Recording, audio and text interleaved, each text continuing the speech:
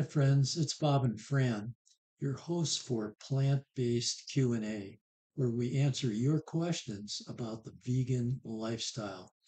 And today we got a really good question from Chris in Milwaukee. And Chris asks, what are some super easy recipes for when I am busy or when I am lazy? And I think that's a pretty good question. So we've picked out a few for you. And Fran, what's the first one you want to give us? Okay, I'll share a few recipes with you that are really easy.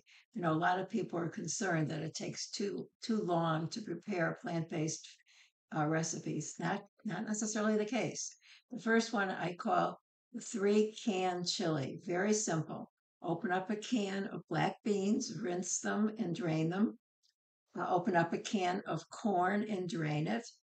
And uh, take a cup of your favorite salsa, mix all three together, and warm them up in a pot, and you have three can chili. Really tasty and easy to make. Yeah, it's really good. We have it uh, once in a while when Fran gets really busy. So the second super easy recipe is a burrito. So tell us about it. Okay. First of all, what I like to do is always have cooked rice in the fridge. Brown, brown rice. Brown rice. I use short grain brown rice. I do it in an instant pot. It's real simple, but if you don't have one, you can do it uh, on a stove. Very not hard to do at all. And then uh, what I do is I take a cup of the rice, the cooked rice, and a, a can of the black beans, like I used for the other recipe, drained and rinsed. Mix them together with a salsa, and you can either eat it that way, plain, it's delicious. Or you can roll it in a burrito. You can make a quesadilla or an enchilada, whatever you want with it. But it's a really good um, combination and it's very filling and healthy. That, that one we love. Yeah. I, I, We eat a lot of Mexican food.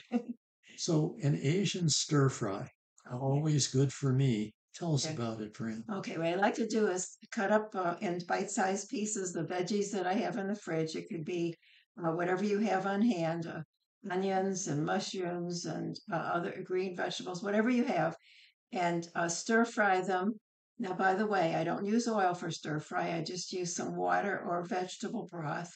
And after it's all cooked, um, what I do is I take uh, what I like to use is either a uh, Chinese sauce or Thai sauce, whatever Asian sauce you like. Mix it in, and uh, you've got an Asian stir fry. You can serve that over rice. So those sauces, you can buy those in a Yeah, the, supermarket. the I guess. supermarket, right?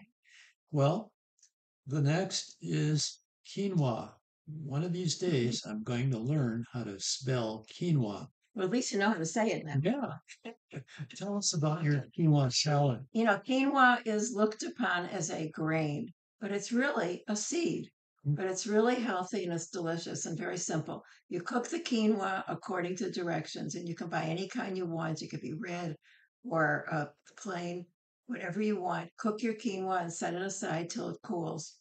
Then take take some quinoa, put it in a bowl, cut up some vegetables of your choice. It can be peppers and uh, green onions and uh, whatever vegetables you like, and put that in the bowl. Mix it all up and add. I love to use ume plum vinegar. It's oil free but really tasty.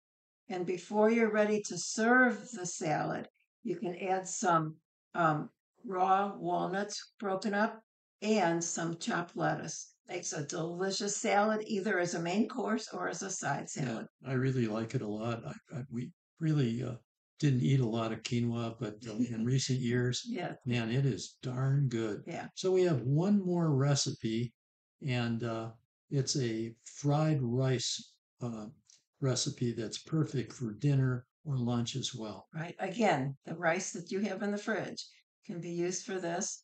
Um, you cook, you stir fry some vegetables again in water or vegetable broth, and after the vegetables are stir fried, you can add. Um, I like to add fresh pineapple cut into chunks. yeah. Mix that in, and you can put in some tofu if you like.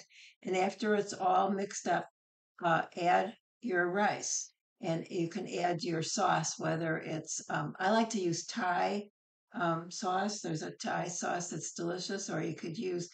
Um, I use liquid aminos, which is just like soy sauce, except it's much, much lower in sodium. So there you have it. Five really good, super easy recipes. Chris, I hope you start cooking with these. And uh, uh, for everyone watching, we'll have these recipes in the description section below. So uh, you can always uh, see it there.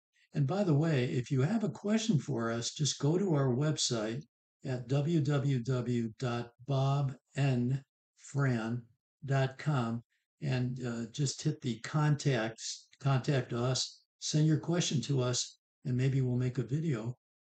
Just for you. it. Yeah, thank you. Thanks for coming. Thanks for supporting us and subscribing, and we'll see you next time. Bye bye. Bye.